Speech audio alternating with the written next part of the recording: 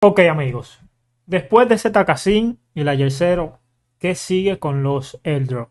Este video va a ser un poco diferente porque realmente les voy a dar una opinión mía personal sobre los airdrop y sobre lo que viene a continuación después del lanzamiento de estos dos gigantes. Para nadie es un secreto que el airdrop de Zcasin y el de la Yersero realmente fue un fracaso para la mayoría de los usuarios. Zcasin hizo una distribución, la verdad, bastante mala, se podría decir, ya que la gran mayoría de los tokens se lo dio a un grupo de usuarios y descartó a un número mucho más grande de usuarios que a lo que le dio token, amigos. Realmente las consecuencias de esto la hemos estado viendo en lo que es el gráfico. Ustedes van al gráfico y ven cómo el precio se ha ido diluyendo eh, en el transcurso de los días.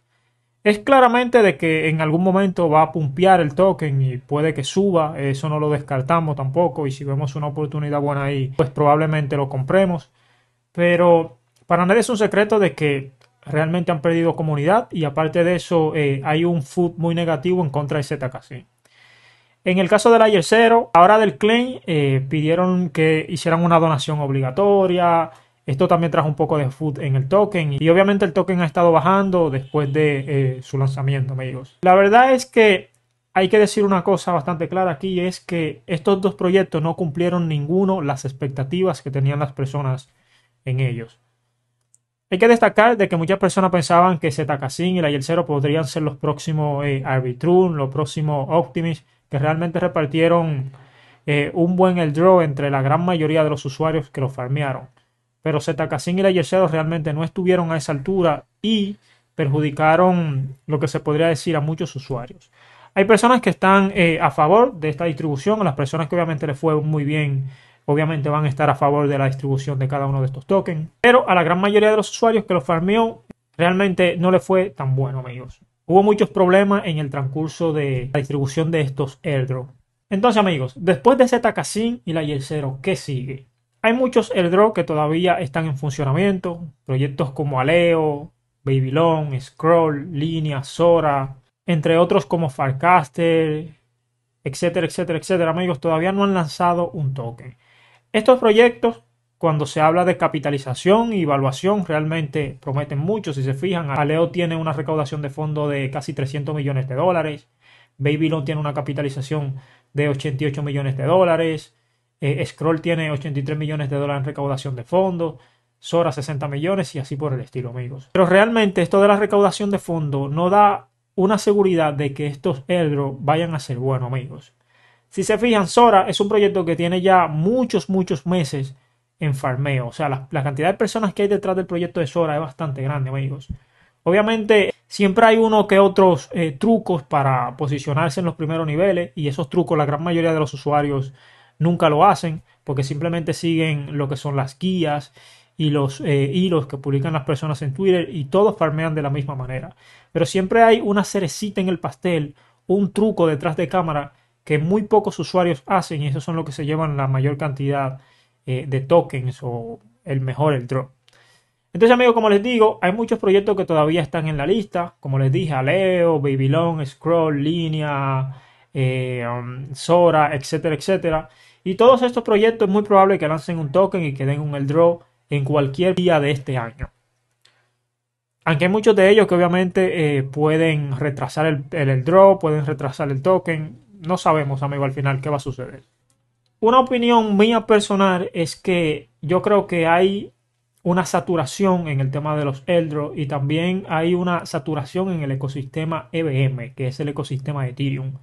Pienso de que ya la cantidad de personas que están farmeando todos estos tokens y todos estos Eldro es demasiado grande y por eso cada vez se va a diluir un poco más eh, el rendimiento que van a tener los usuarios. Y a eso súmanle amigos de que estos proyectos realmente se están aprovechando de la especulación, se están aprovechando de esa necesidad de ganar dinero que tienen las personas y en vez de los usuarios farmear los proyectos, los proyectos están farmeando a los usuarios, que es lo que hemos estado viendo, por ejemplo, con Línea. Línea lanzó una campaña que se llama Línea Park, donde un montón de usuarios tenían que gastar fees y completar un sinnúmero de tareas mintiendo NFT y todo eso. Pues resulta que al final eh, muchos usuarios no recibieron lo que fueron los eh, tokens de línea XP eh, de la campaña de línea PAR porque fueron filtrados como civil. O sea, ¿por qué realmente ellos no hacen la campaña de civil antes de lanzar la campaña donde los usuarios tienen que gastar el dinero, amigos. Entonces, todo esto es un juego macabro que tienen los proyectos y un juego con mala fe, se podría decir, en contra de los usuarios para después que lo farmean dar la menor cantidad de tokens eh, y así eh, reducir lo que es el suministro que reparten entre los usuarios, amigos.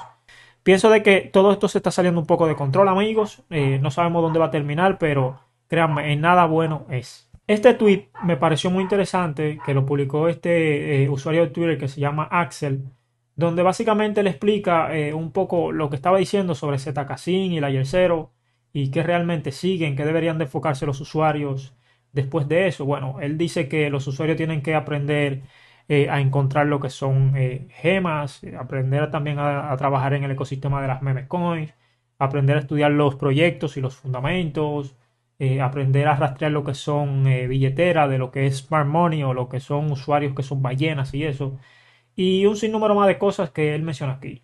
Realmente eh, lo pongo aquí este tweet porque estoy muy de acuerdo con lo que él dice, amigos. Hay que prestar atención a otras cosas.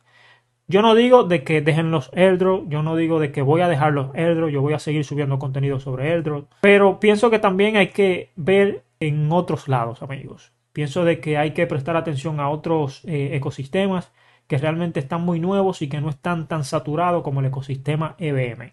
Recuerden que el ecosistema EBM, el ecosistema Solana, actualmente está muy saturado y ya la cantidad de usuarios que hay ahí eh, es demasiado grande, amigos, y por eso realmente cada vez que reparten un airdrop eh, no es tan bueno ni tan lucrativo como solía ser anteriormente.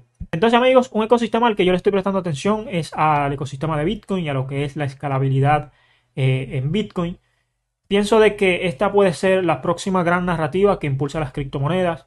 Como les digo, eh, el ecosistema de BM, lo que son los NFT, el Game Fee, todo eso, todo esos ecosistemas ahora mismo están saturados y eh, un nuevo impulso en el mercado tiene que venir de una nueva narrativa.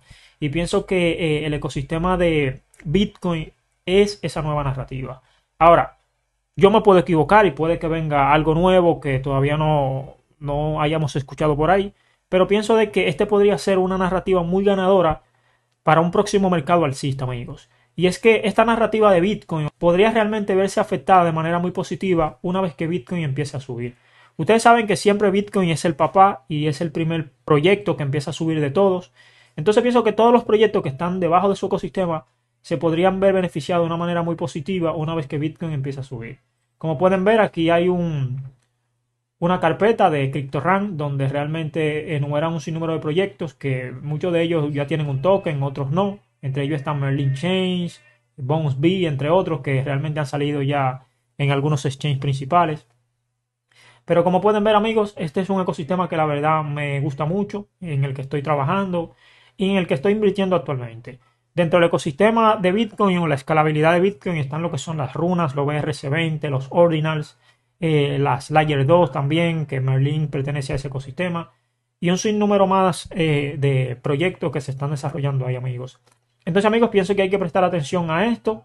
En los próximos días yo voy a estar subiendo un video eh, explicándole cómo empezar con el ecosistema de Bitcoin y qué realmente estoy viendo ahí, cómo ustedes pueden trabajar y todo eso. Así que manténganse al pendiente, suscríbanse al canal para que vean ese video, agréguense en el grupo de Telegram también, que por ahí lo voy a mandar una vez que lo suba al canal. Básicamente eso era todo por este video. Espero que la información que compartí aquí con ustedes les haya gustado. Recuerden que esto es una opinión mía personal. No tienen que llevarse de nada de lo que yo diga. Hagan su propia investigación. Y sin más que decir, se despide Haris Mora. Hablamos en la próxima. Chao.